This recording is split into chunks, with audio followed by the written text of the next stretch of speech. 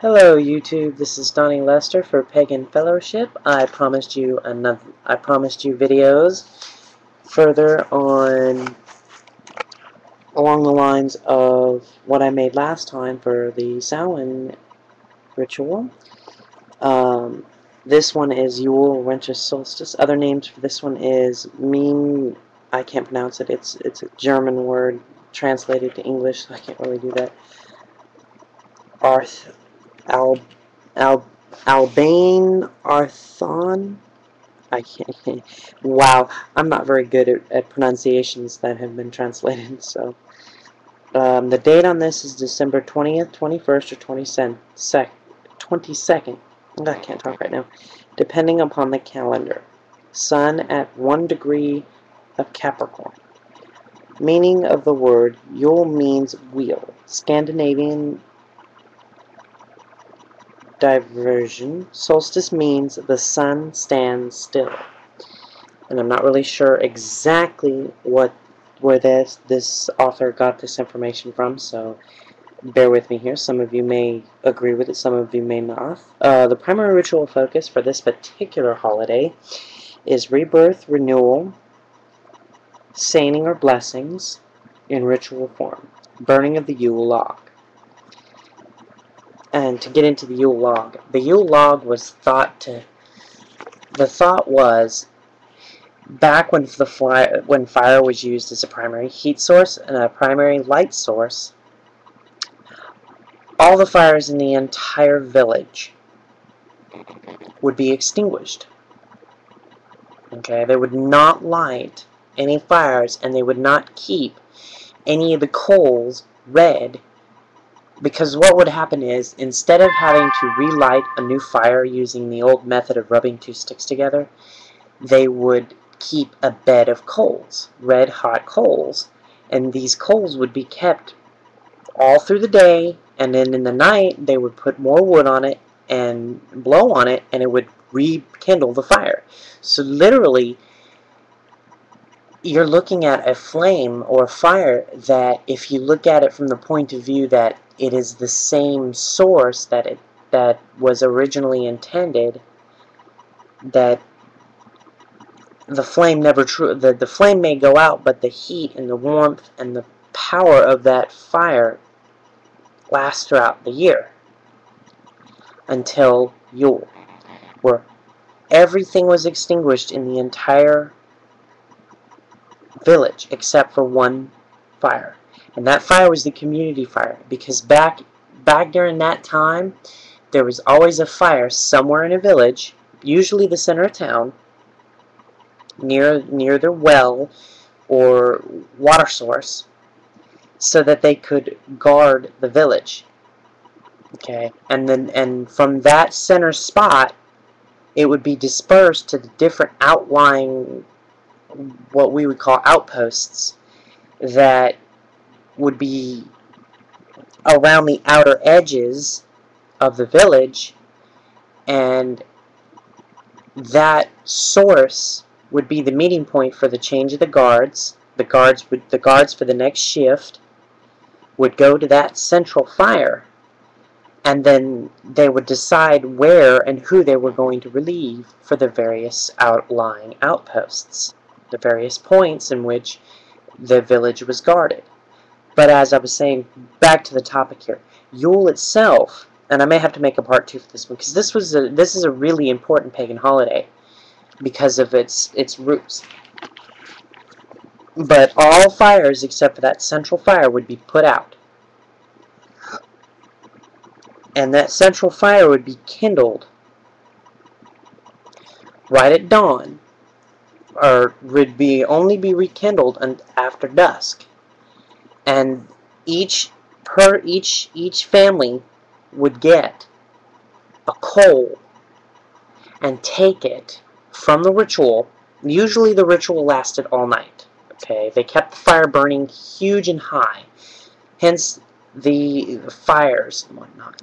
Having big old huge bonfires. Another holiday that is close to that is Beltane, which is awesome because that is the other part of the year where the same thing is done.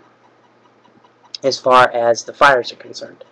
But they would keep a huge bonfire growing, burning in the center of town all night long. Okay, and they would celebrate as long as the as long as physically possible for some. But everybody would get a piece of this fire, the coal, and they'd take it back to their various homes and houses and kindle a new fire from it. Thus, the Yule log began. Okay, the age of the holiday. Wooden pillars throughout Europe aligned with the rising sun, and yes, the fire would usually be aligned with the rising sun so that the change in the guard could pay attention to whether or not to lay the bed of coals out and put the flame out so that just the light source of the sun was used because even though flames give off pretty good light if you keep them high enough, the sun is no substitute. Let's see. Uh, rising sun. Winter solstices have been recently dated to be 3200 between 3200 and 308 or BC. In Ireland, Scotland, Stonehenge, and Dorset Cursus in Britain, enabling us to currently calculate this holiday to be at least 5,000 years old. Popular mythos, Battle of the Oak and Holly King o, uh, Oak King wins, Divine King, the Stag, the Wolf, the Festival of the Dark God as seen in German Belsic. Now, I'm going to have to make a part two of this because I've only got about three minutes left. I'm going to get into this this this uh, Stag King and Dark God thing. Alright. At this point, the sun's influence is waning. This is why it is so crucial for them to to rekindle, so so to speak, to rekindle that inner that inner fire, and and actually kindle a physical fire that will burn throughout the year. Because at this point, there is more night than day. The sun's influence over the the how much time is light versus not versus day is growing less and less. The sun has less of an influence to this point of the year. So that's where dark God comes from. It's not it's not a mythology where where where evil an evil god does this, you know, it's not like that at all. The astrological sign for this is 1 degree Capricorn, Earth, Cardinal. The planetary ruler is Saturn. Uh, let's see.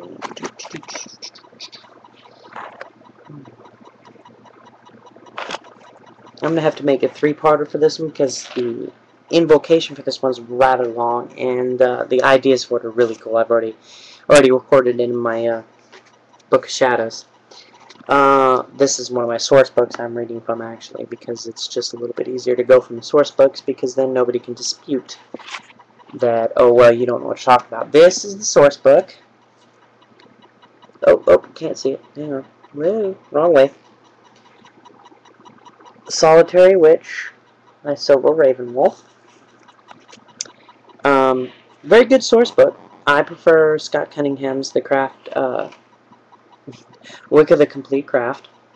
Um, it just is a little bit easier, a little less, uh, drawn out. This one's more uh, drawn out. Um, okay, I am going to go ahead and end this particular part and uh, begin another one for the ideas and another one for the invocation. I hope you guys have enjoyed this brief look at Yule.